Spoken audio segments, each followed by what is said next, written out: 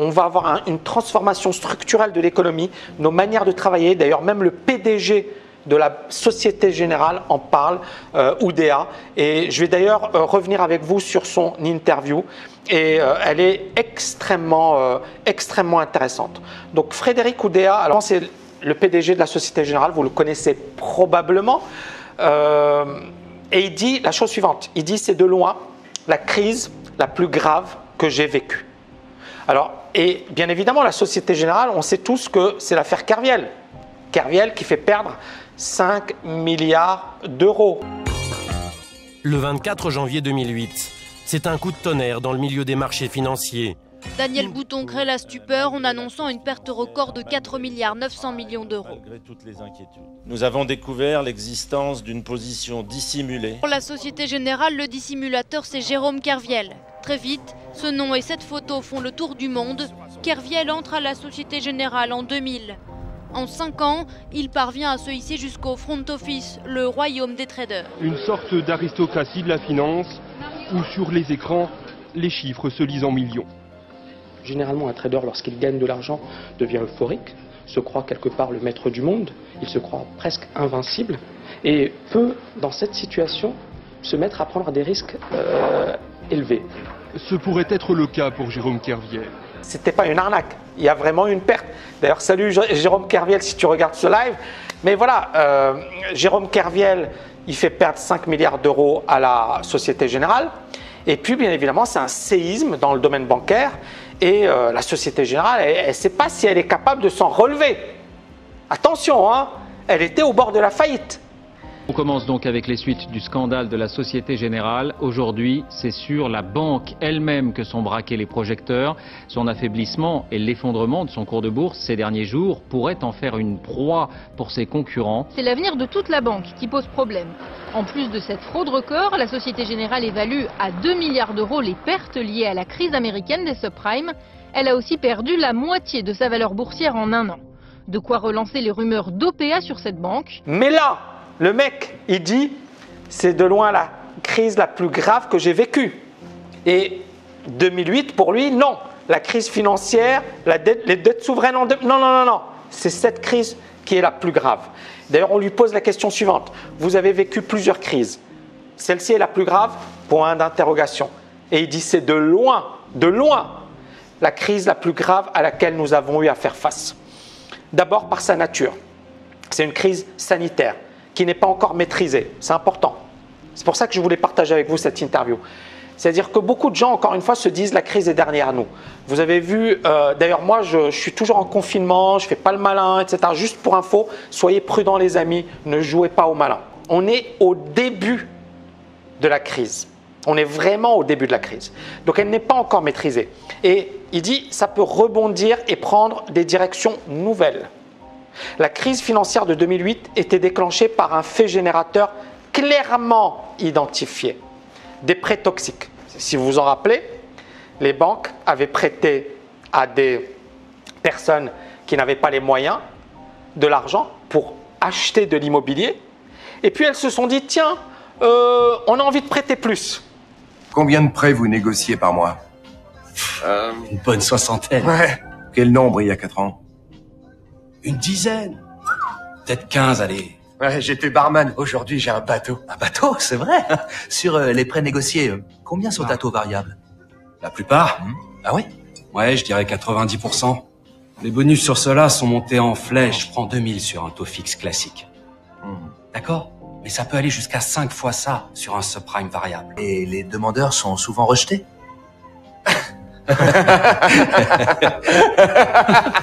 Sérieux, là?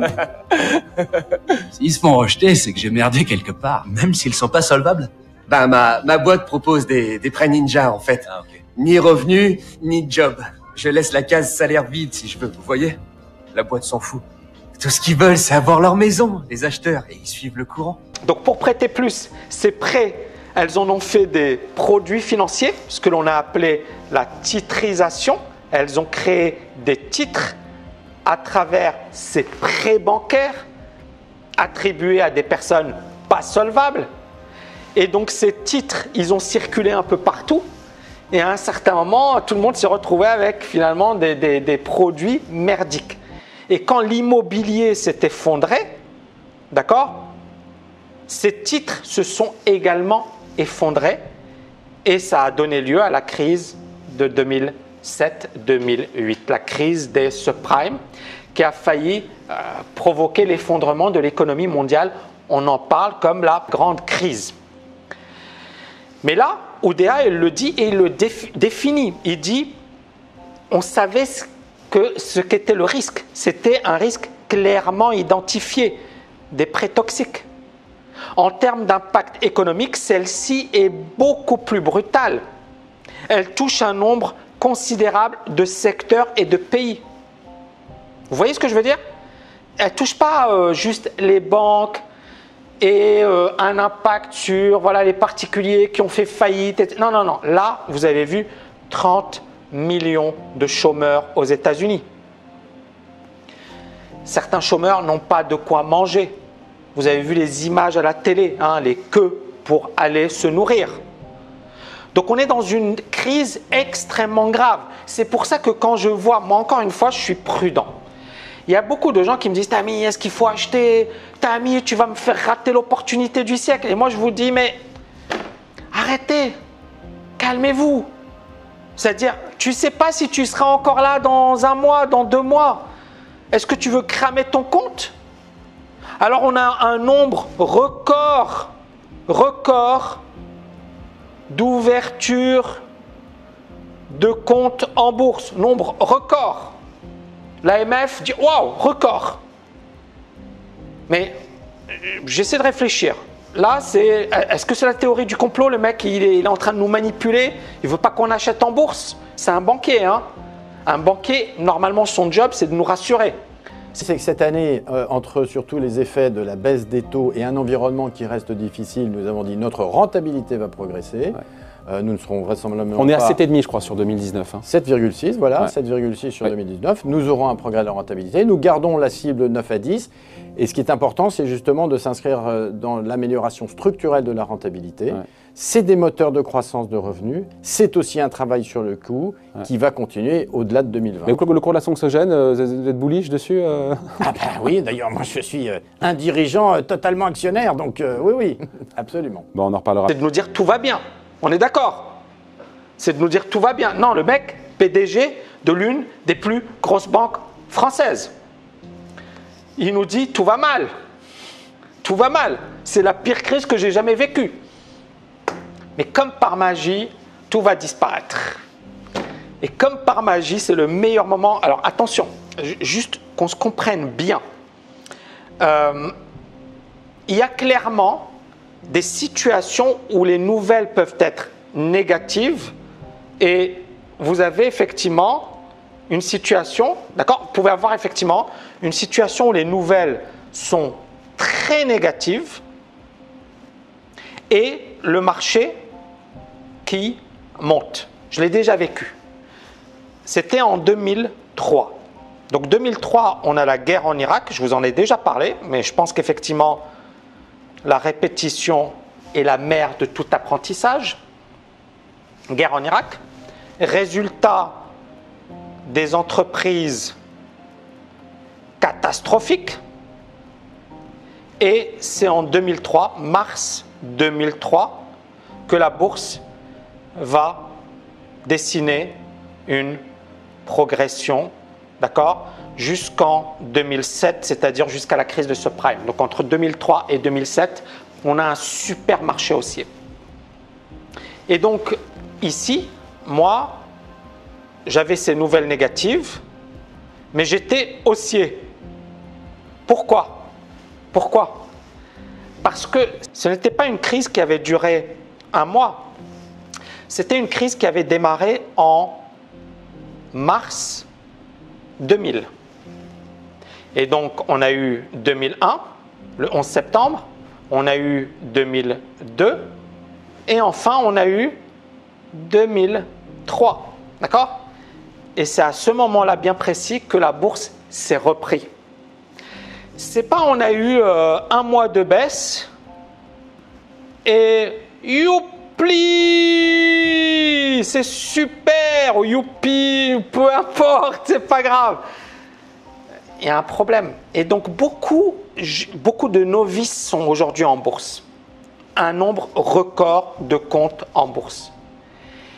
Et donc le problème, c'est ça, c'est que beaucoup de gens se disent un mois, c'est bon.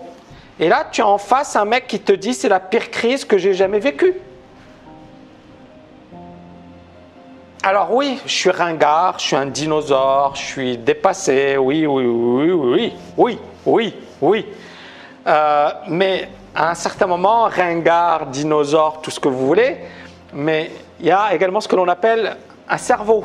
il y a un cerveau, d'accord Donc utilisez votre cervelle, les amis. Vous êtes 5000, 1800 likes, faites-moi exploser les likes. Donc, ils disent de toutes les crises que j'ai vécues, c'est celle qui a l'impact le plus significatif. Donc je peux vous dire, quand c'est comme ça, en tout cas, euh, il faut être super déterminé, il faut garder son calme, il faut surtout pas s'éparpiller, il faut apparaître vraiment d'un calme absolu pour les équipes et agir. Être concentré sur l'action euh, en, se disant que euh, cette action, elle est profondément nécessaire. Et c'est là où les équipes, le dévouement des équipes est clé. Et je vous dis, ce qui a été fait par les équipes de la Société Générale a été exceptionnel. Et d'une certaine manière, probablement, nous a aidé aussi à surmonter les autres étapes de la crise. Donc, sondage. C'est bon, la crise elle est finie Ou deux, j'attends encore deux mois, trois mois, quatre mois, cinq mois, un an avant de me dire que ça y est, c'est vraiment fini. Donc un, deux. Donc un, c'est fini. Deux, j'attends un petit peu parce que je me dis quand même, il y a quand même des choses qui clochent. Donc, donc je vois un, je vois deux, un an, tu gères, attendre.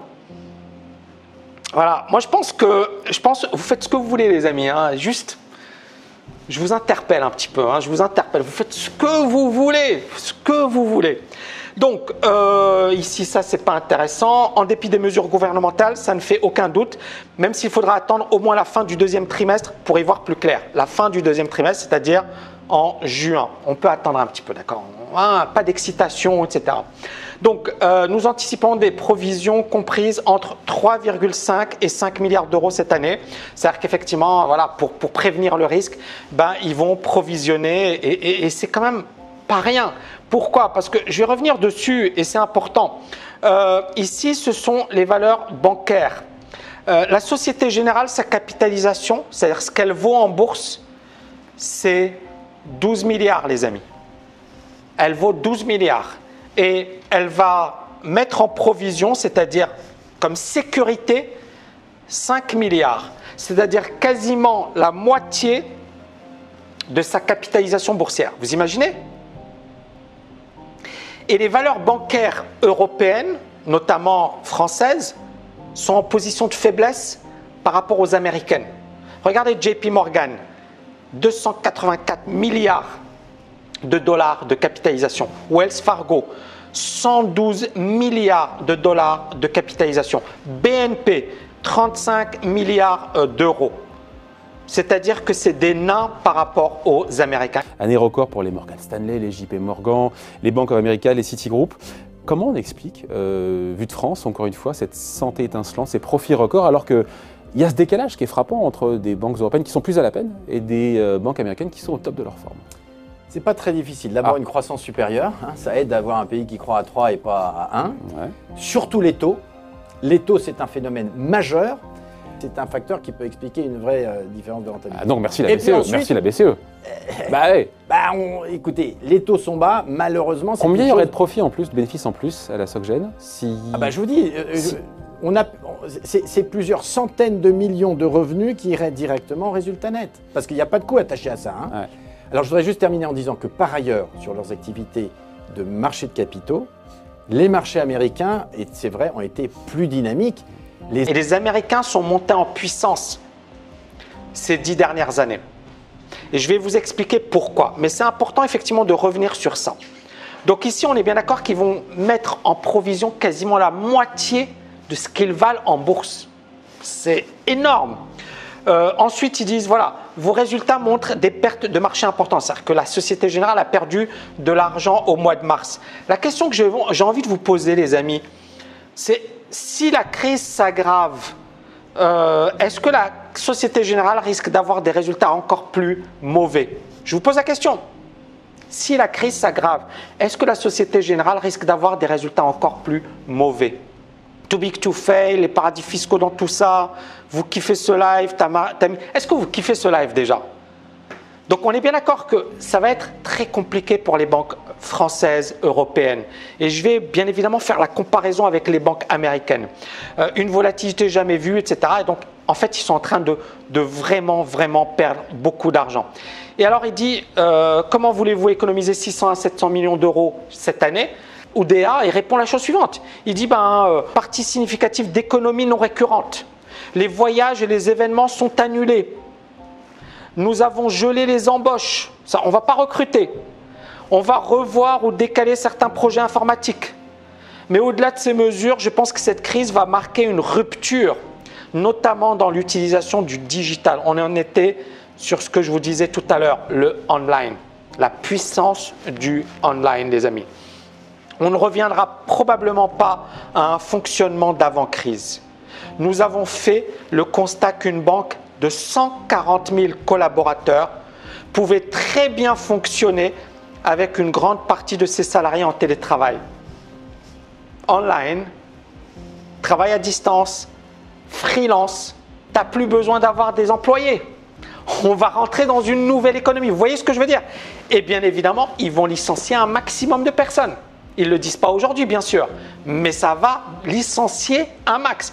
Tu as 140 000 collaborateurs. Les agences, elles ne marchent pas. Il dit Ah, ben c'est super. On sait maintenant qu'on peut travailler online. Ça veut dire quoi son message? Ça veut dire on va fermer plein d'agences. D'accord ou pas d'accord? De même, le consommateur ne sera pas allé dans son agence pendant 2-3 mois. Ces modes de travail et de consommation différents nous conduiront à dégager de nouveaux modèles de fonctionnement et des gains d'efficacité. Est-ce qu'il faut redouter ou pas en France, et ça va au-delà de la Société Générale, hein, est-ce qu'il faut sûr, bien redouter sûr, bien sûr. une accélération de la fermeture des agences dans les prochaines années? En fait, aujourd'hui, c'est en France qu'on a, probablement avec l'Espagne, la densité d'agences par centaines de milliers d'habitants la plus plus, élevée. élevée. C'est problématique? Donc, non, c'est pas problématique. C'est un, un choix de la profession qui est de dire on, on veut garder la proximité. L'agence nous paraît en tout cas. Au détriment de la rentabilité Attendez, l'agence nous paraît Vous voyez encore hein. importante. Mais oui, mais bien sûr. l'agence nous paraît encore importante.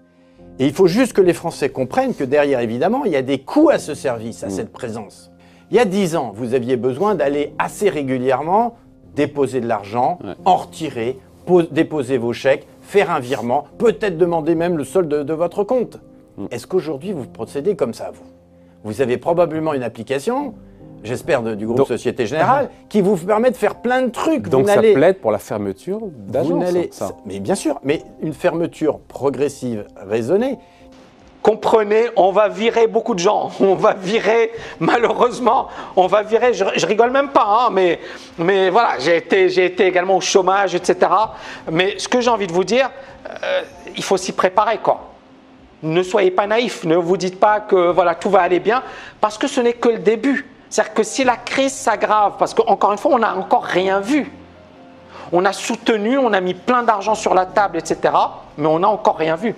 Alors il dit, le, journaliste, tu lui poses la question suivante. Par exemple, en réduisant encore le nombre d'agences Point d'interrogation. Dit, nous sommes déjà très avancés dans la transformation des réseaux. On ne sait pas ce que voudront les clients après la crise. Entre nous, on sait ce qu'ils voudront, hein, les clients. hein. Ce pas les clients qui vont décider. C'est la banque qui va dire, Eh, on n'a plus d'argent, on a perdu beaucoup d'argent. Allez, ciao, ciao. Vous voyez ce que je veux dire? Malheureusement, la grande lessive. À quel rythme retourneront-ils Voilà, il parle comme un politicien, c'est un PD PDG, c'est normal. On va leur demander, ah bon, vous allez demander à, votre, à vos clients, bon, j'ai pas de compte bancaire à la Société Générale, donc j'ai pas de risque, mais si jamais j'ai envie de faire du business avec eux, ça va être chaud là. Les amis, je me mouille pour vous. Les amis, bon, mettez-moi des likes. Là, je suis en train de me mouiller, quoi. Donc, on va leur demander, et ce sera dans notre plan 2021-2025. Moi, je pense que ça sera dans le plan 2020, hein, pas, pas 2025. Cette année, ça va être chaud. Nous avons montré ces dernières années que nous savions nous adapter rapidement par rapport à nos pairs et de façon responsable sur le plan social. Et, encore une fois, la Société Générale, c'est une très belle banque. Euh, j'ai des amis qui bossent là-bas et c'est vraiment une très très très belle banque. Maintenant, encore une fois, il y a un changement, changement économique. Est-ce que vous allez recourir au chômage partiel euh, et ne serait-ce que parce que les congés payés, les congés pour les gardes d'enfants seront convertis en un, il dit nous n'aurons pas recours au chômage partiel, bon, chômage tout court quoi. Euh, nous assurons la, rémunération de nos collaborateurs en France. Mais encore une fois, j'en rigole, mais c'est pas rigolo parce que ça va être un drame. Ça va être un drame parce qu'effectivement, cette banque, euh, si la crise s'aggrave, elle va perdre beaucoup d'argent et les banques européennes seront en grave difficulté. D'ailleurs, c'est euh, le, prochain thème que je vais développer. Et donc ici, je pense que voilà. Voilà. Pensez-vous que la crise va accélérer la consolidation? La consolidation, ça veut dire quoi? Ça veut dire les banques qui vont se consolider. Donc il y aura des rachats de banques. Bah, la réponse est oui. Mais lui, il dit personnellement, je ne le pense pas. Pourquoi? Parce que, bon, bien sûr, il dit normalement tout est sous contrôle. Mais on est bien d'accord que dans ses propos, on sent que c'est quand même pas top. Nous sommes dans une phase où les autorités et les gouvernements cherchent avant tout à contrôler que leur système bancaire fonctionne efficacement, car c'est un canal de liquidité et de financement de leurs économies. C'est-à-dire qu'effectivement, les banques euh, permettent de financer l'économie, et il a raison. L'idée de perdre le contrôle, en quelque sorte, de voir les grandes banques se consolider avec tous les riches attachés en pleine crise, n'est pas un sujet d'actualité. N'est pas un sujet d'actualité, mais ça veut dire qu'après, ça va, ça va venir. Si certaines banques perdent beaucoup d'argent, il y aura probablement des consolidations même si on ne peut écarter quelques consolidations domestiques de petite taille. Une fois la crise consolidée, etc. Mais soyons lucides, alors là c'est génial, cette crise va renforcer encore les divergences entre ses membres et sera un vrai test pour la zone euro. C'est pas rien ce qu'il dit. Hein. Donc, euh, excellent. Alors là, cet article a été publié en 2019. 2019, octobre 2019. Une banque sur trois risque de disparaître. 354 banques situées principalement en Europe de l'Ouest et en Asie présentent une rentabilité anormalement faible, au point qu'elles ne résisteraient pas à un retournement de conjoncture. Or, les nuages s'amoncellent sur la croissance mondiale. C'était avant la crise du coronavirus. Déjà, le constat n'était pas top.